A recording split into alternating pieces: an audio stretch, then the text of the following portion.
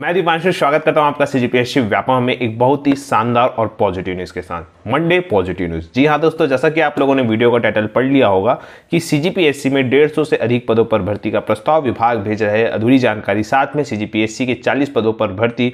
High court ने bonus के संबंध में क्या निर्देश दिए, पूरी जानकारी देखेंगे। बिना किसी देर की वीडियो को स्टार्ट करते हैं। जिन्होंने इस चैनल को सब्सक्राइब नहीं किया है, जल्दी से जाए सब्सक्राइब करें।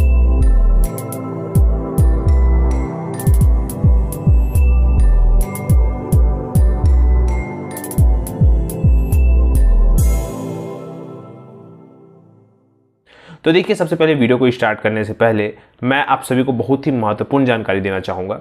याद रखिएगा, आप लोगों के लिए ये जो सप्ताह है अत्यंत महत्वपूर्ण है, जो चार जुलाई से प्रारंभ हो रहा है मतलब आज के दिन से प्रारंभ हो रहा है, और आप देखेंगे कि बहुत सारी वैकेंसियाँ वित्त विभाग से स्वीकृत किया जा रहा है कंटिन्यू और आने वाले टाइम में भी बहुत ज़्यादा मात्रा में होगा, और इसी के साथ साथ कुछ नई वैकेंसियाँ भी आपको देखने को मिलेगी। तो ये एक बहुत ही शानदार और पॉजिटिव सबसे पहले ये है। दूसरी और बहुत ही महत्वपूर्ण खबर, जो डेंटल सर्जन से संबंधित, जो आ रही है खबर, हाई कोर्ट में ये केस लगा हुआ था। और इसका जो एग्ज़ाम है, वर्तमान में 15 जुलाई 2022 को है। उसी के साथ साथ आप देखेंगे जो परिवहन विभाग से संबंधित है, क्षेत्रीय परिवहन अधिकारी, उसका भी एग्ज़ाम 15 जुलाई को है सीजीपीएससी का। तो जो डेंटल सर्जन के जो 40 पद निकले हुए हैं, उसमें देखिएगा हाई कोर्ट ने क्या टिप्पणी की है? जरा देखिए। जैसा कि आपके स्क्रीन पर शो हो रहा होगा, यहाँ पर बताया गया है, सबसे पहले, कि पीएससी द्वारा डेंटिस्ट के पदों पर सीधी भर्ती के लिए ली जाने वाली परीक्षा में कार्य अनुभव के आधार पर अतिरिक्त अंक दिए जाने की याचिका में हाई कोर्ट ने सुनवाई हुई और संविदा पदों पर कार्यरत डेंटल सर्जनों के द्वारा 15 जुलाई 2022 को पीएससी द्वारा आयोजित भर्ती परीक्षा में बोनस अंक प्रदान करने हेतु याचिका लगाई गई थी। याचिका की सुनवाई कर अदालत ने प्रमुख सचिव, स्वास्थ्य एवं परिवार कल्याण विभाग, मंत्रालय तथा संचालक स्वास्थ्य सेवाओं को उक्त भर्ती प्रक्रिया के संपन्न होने से पहले निर्णय लेने के निर्देश दिए। मतलब वो भर्ती प्रक्रिया जैसे संपन्न होगी, उसके पहले विभाग को यह निर्णय लेना है कि कितना नंबर बोनस देना है। साथ में बताया गया कि छत्तीसगढ़ लोक सेवा आयोग द्वारा 9 फरवरी 2022 को डेंटल सर्जन के 44 पदों पर सीधी भर्ती हेतु विज्ञापन प्रकाशित कराया गया था, जिसमें वांछित योग्यता के आधार पर संविदा में कार्यरत विभिन्न जिलों के डेंटल सर्जन द्वारा आवेदन प्रपत्र प्रस्तुत किए गए थे। तत्पश्चात 6 जून 2022 को एक जो शुद्धि पत्र के माध्यम से परीक्षा के अंक वितरण की जानकारी प्रदान की गई थी, जिसमें संविदा कर्मियों को उनके कार्य अनुभव के आधार पर कोई भी प्राथमिकता नहीं दी गई, जबकि उनके कार्य अनुभव की अवधि कोरोना काल को मिलाकर भी 9 से 10 वर्ष की हो चुकी है।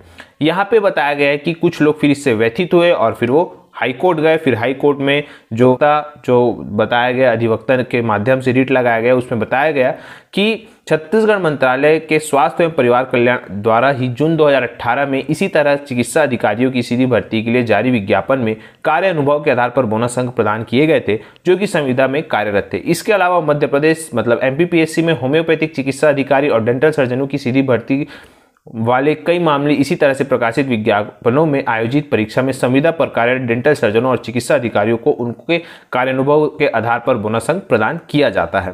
यहाँ पे यही सब पूरा मामला बताया गया और उसके बाद फिर हाईकोर्ट ने डिसीज़न दिया कि भाई आप जो मंत्रालय और विभाग को कि आप लोग भर्ती प्रक्रिया पहले चालू करने से पहले ही आप लोग पहले निर्णय ले लीजिएगा कि किसको कितना नंबर देना है, कितने अनुभव वालों को। तो ये उनकी मांग थी, जो संविदा में कार्यरत डेंटल सर्जन है। जायज़ मांग है, क्योंकि पिछले नौ से दस वर्ष तक वो काम कर रहे हैं इस फ़ील्ड में, और ज़ाहिर सी बात है, उनको बोनस की, बोलना चाहिए, मांग की गई है उनके द्वारा। तो ये उनकी मांग थी। अब हम बहुत ही महत्वपूर्ण सी से संबंधित ही जानकारी देते हैं। जैसा कि देखिए, मैंने आपको कुछ दिनों पहले बताया था कि सीजीपीएससी में बहुत सारी वैकेंसियाँ आई हैं, सहायक संचालक के पदों पर। परंतु सीजीपीएससी के बहुत सारे प्रोटोकॉल होते हैं, जिसके संबंध में हम आपको बता नहीं पाते। इसी वजह से जैसे ही जो प्रोटोकॉल के नियम का पालन किया जाता है, उसके तहत आज जो जानकारी मिल रही है, आपके सामने साझा किया जा रहा है। जैसा कि यहाँ पे बताया गया देखिएगा सीजीपीएससी में सबसे महत्वपूर्ण है। कि बहुत सारे पद आते ज़रूर है, परंतु होता यह है कि पूरी जानकारी से नहीं आते। किसी में रोस्टर प्रणाली का कुछ दिक्कत होता है, किसी में सिलेबस का दिक्कत होता है, किसी में और कुछ भर्ती नियम, भर्ती प्रक्रिया का जो है वो डिफाइन नहीं होता, वो परिभाषित नहीं होता। तो इस चक्कर में क्या होता है कि विभाग तो बस ये पोस्ट भेज दिया कि भाई हमको इतने पदों पर भर्ती लेना है, लेकिन उसकी पूरी जानकारी देगा, जब तक नहीं देगा विभाग तो चाहे वो सी जी हो या सी व्यापम हो, कोई भी भर्ती नहीं करा पाएगा। और होता यह है कि जब आप आधी अधूरी जो वैकेंसी की जानकारी आई है और उसका वैकेंसी निकाल देती है कोई संस्था, चाहे वो सी जी हो या सी व्यापम हो। और बाद में ऐसा होता है कि कुछ तकनीकी त्रुटि की वजह से ही जो है, कहीं ना कहीं वो केस जो हाई कोर्ट में चला जाता है। कभी दिक्कत, जैसे सिलेबस में कोई चेंजेस होता है तो उस चक्कर में दिक्कतें हो जाती तो यहाँ पे जो संस्था होती है, उस पर उंगली उठाई जाती है, जो परीक्षा लेती है। किसी जी की परीक्षा ऐसी हो गई, व्यापम की परीक्षा ऐसी हो गई। विभाग को कोई जाके नहीं पूछता कि इस विभाग की गलती की वजह से ऐसी सभी चीज़ें हुई। तो इसी वजह से आजकल अब सीजीपीएससी और व्यापम दोनों ही एकदम सतर्क हो गए हैं और जब तक पूरी चीज़ें नहीं आ जाती तब तक वैकेंसी नहीं निकालते। भले उनके पास मांग प्रस्ताव आ जाते हैं कि इतनी भर्ती पर लेना है, इतने पदों पर भर्ती लेना है। वर्तमान में डेढ़ सौ से अधिक पदों पर सीजीपीएससी के पास पद पड़े हुए हैं, बहुत सारे सहायक संचालक के। लेकिन वो निकाल इसलिए नहीं रहे कि किसी का सिलेबस कंप्लीट नहीं है तो कोई आयु सीमा से संबंधित प्रॉब्लम है, किसी का कुछ प्रॉब्लम है, किसी का कुछ। तो इसी वजह से यहाँ पे वैकेंसियाँ आना तो तय है, और बहुत सारी वैकेंसियाँ। अब होते हैं कभी चालीस पद पच्चीस पद, बत्तीस पद, पैंसठ पद, अस्सी पद, इस प्रकार से बहुत सारी वैकेंसी है। परंतु जैसे जैसे उनको प्रस्ताव मिलते जाएँगे सीजीपीएससी कंटिन्यू आप लोगों के लिए वैकेंसी निकालते जाएगा। यहाँ पे देखिएगा महत्वपूर्ण इस बात का है कि ये जो सप्ताह अत्यंत महत्वपूर्ण है सीजीपीएससी के दृष्टिकोण से कि बहुत सारी वैकेंसियाँ जो है अलग अलग जो है बोलना चाहिए, विभाग वालों के लिए आना तय है। फ़िलहाल देखिए आपके स्क्रीन पे जो शो हो रहा होगा यहाँ पे बताया गया है कि विभागों की लापरवाही पीएससी कार्यालय से लौट रहे भर्ती प्रस्ताव भर्ती परीक्षा के प्रस्ताव। यहाँ पे बताया गया है कि राज्य के विभिन्न विभागों में भर्ती परीक्षा के प्रस्ताव तो मिल रहे हैं लेकिन अफसरों की लापरवाही से परीक्षाएँ नहीं हो पा रही है। राज्य लोक सेवा आयोग के पास कई भर्ती परीक्षाओं के प्रस्ताव है।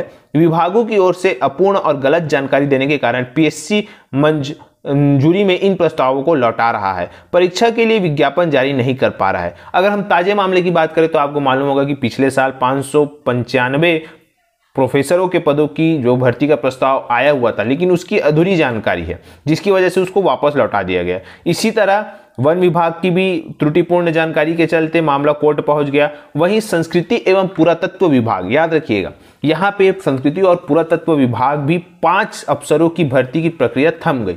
यहाँ पे सहायक संचालक के पाँच पद थे संस्कृति विभाग में। परंतु हुआ क्या कि ये जो संस्कृति विभाग है, वो सिलेबस ही डिसाइड नहीं कर पाए। और जब सिलेबस डिसाइड करने में इतना लेट लगा दिए कि वर, अभी वर्तमान में उसका प्रोसेस आगे बढ़ा है। तो जैसे कि यहाँ पे सबसे पहला केस अगर हम बात करें तो आयु को लेकर थी भ्रमित करने वाली जो प्रोफेसरों के पाँच सौ पंचानवे पद थे। दूसरा था संस्कृति विभाग जो दूसरा केस था वो संस्कृति विभाग में नियम भेजा और पाठ्यक्रम नहीं भेजा। संस्कृति एवं पुरातत्व विभाग में भी पाँच सहायक संचालक स्तर के अफसरों की नियुक्ति होनी थी। यह भर्ती नियम तो भेजे गए, पर परीक्षा लेने के लिए कोई पाठ्यक्रम नहीं भेजा। और याद रखिएगा, इसके कारण मामला अटक गया। विभाग के संचालक से अगर बात हुआ तो फिर उन्होंने बताया कि भाई पाठ्यक्रम बन गया है, अब हम जल्द भेज रहे आयोग को। याद रखिएगा, संविदा अफसरों के जो भरोसे जो है, वो संस्कृति विभाग चल रहा है। और याद रखिएगा, संस्कृति विभाग में भी अनेक पद जो है, आपको आने वाले समय में, चाहे वो सीजी व्यापम से हो या सीजीपीएससी से हो, आपको देखने को मिलेंगे। तो संस्कृति विभाग वाले, याद रखिएगा, आप लोगों के लिए वैकेंसी आने वाली है। विभाग विभाग ने पूरी तैयारी कर ली। अब विभाग जो है, उनको अनुमति तो कब से मिल गई है? परंतु वही सिलेबस कंप्लीट नहीं हुआ था, इसी वजह से थोड़ा सा लेट चल रहा था। तीसरा केस है, वर्षों से अटकी नियुक्ति। यहाँ पे देखिएगा, बताया गया है कि वही जो वन वाला, विभाग वाला जो मामला था, उससे संबंध में बताया गया है। साथ में देखिए, ये बताया गया है डेढ़ सौ से अधिक पदों की मामलों पर विभाग के पास मांग पत्र तो है, लेकिन समय पर जानकारी नहीं मिलने से भर्तियाँ लटकी हुई है। तो सभी विभागों से मेरा आग्रह है कि जब आप जो भी भेजते हैं, पदों की जानकारी या पदों से संबंधित भर्ती का प्रस्ताव भेजते हैं तो आप लोग कृपया करके एक बार में सीधा सीधा भेजा करिएगा। इससे होता यह है सीजीपीएससी को भी प्रॉब्लम होता है सीजी व्यापम को भी प्रॉब्लम होता है और खुद विभाग को प्रॉब्लम होता है कि इतनी बार जो पत्राचार होते हैं और उसमें जो वक्त लगता है, इससे समय का जो दुरुपयोग है वो होता है। तो सही समय पे सही जानकारी सटीक तरीके से भेजिए, सभी विभागों से मेरा अनुरोध है। यही आप सभी को एक जानकारी देना था कि भाई देखिए सीजीपीएससी में वैकेंसियों की भरमार है और आने वाला सप्ताह, आने वाला दिन, आने वाला जो महीना है, आप सभी के लिए अत्यंत महत्वपूर्ण है। बहुत ही शानदार तरीके से तैयारी करिएगा। यही एक पॉजिटिव न्यूज़ देना देना था। आशा करता हूँ वीडियो अच्छा लगा होगा। अगर वीडियो आप सभी को अच्छा लगा तो आप इसे ज़्यादा से ज़्यादा लोगों तक शेयर करें लाइक करें और सब्सक्राइब ज़रूर करें।